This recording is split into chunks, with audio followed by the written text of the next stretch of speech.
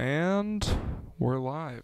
Oh shit! Welcome everybody to the first uh, Geese Cast, Welcome to the G spot. the G spot. You found the G spot. That's right. Um, that's just we're having a little fun there with the name of the podcast. We're just having a little fun. Uh, we're just having some fun. around. We're just Um, we're just goosing around. I'm Cameron Winter. Um, you know, front man and uh, lead singer and songwriter of uh, the band Geese. And, And uh, with me is uh, Max. Uh, Max, uh, who is the drummer of Geese, former um, drummer of Geese. former drummer. Well, we're going through a rough. Yeah, right it's now. it's a little complicated. but that's neither here nor there. Yeah. I really hope that, uh, among other things, this podcast can sort of um, rebuild some bridges that have been sort of suffered uh, some damage in the recent years. You know, um, that this could be something that we just do together again, and we could sort of find some common ground. Absolutely. I mean, I think uh, I think I know you have a lot to say. Uh, all the guests that we're gonna have on coming up have a lot to say. Uh, but you know, we don't want to we don't want to spoil any of the uh, the surprises. We've got uh, you know, just a lot a lot in store. B- boy, ladies and gentlemen, boy, do we have a show for you tonight. I mean, I swear to God, you're gonna fucking lose your mind when you see who we got to.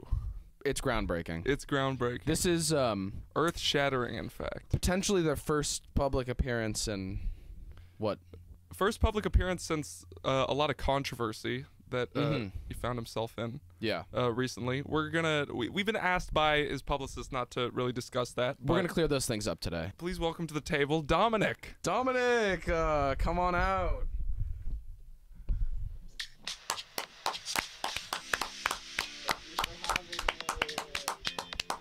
Max, get up, get up, get up, oh yeah yeah yeah take, take my seat get up. That's your half? Just be like, just don't infringe, you know.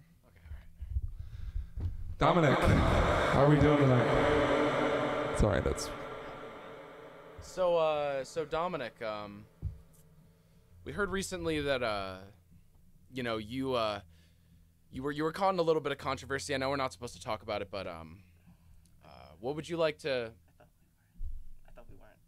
Yeah, we Dominic. Do you mind um uh, putting your mic back up there for a second, so the people at home can hear you? Who put it? I don't know why I was down in the first place.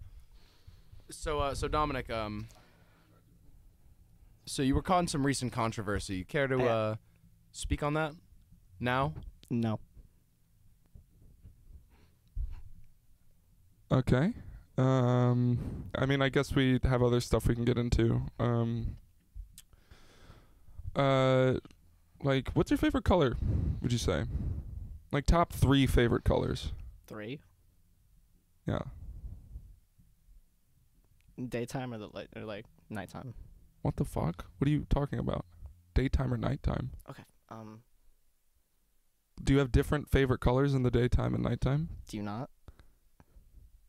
Uh, So Dominic, recently, um, you know, I, I got, a, I had a chance to catch up with you, and um, you were telling me about, uh, about, you know, your, your endeavors these, uh, these last uh, few months. Um, no, it's fine. So, what would you say uh, led you to your controversial stance that you now take?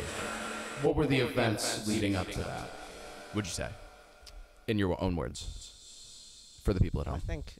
I mean, I think everyone's been going through a lot. Um, True that. Uh, now, Dom, uh, I I had some other questions to ask you. Um, you live in Manhattan. You live um, high up in. Can can you state your exact address for the you know Um, posterity? My exact exact address. Yeah, if you don't mind. I mind. You can Well, if you have nothing- Oh, like you, you don't have to Oh, say the apartment number.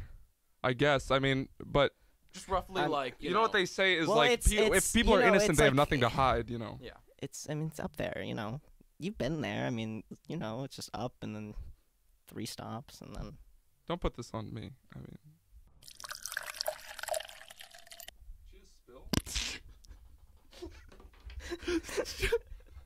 Just spill water all over the table. I'm sorry, guys. I'm sorry. I know you're nervous, but so am I. I actually don't own any Hot Wheels. I own all of the real cars that they're.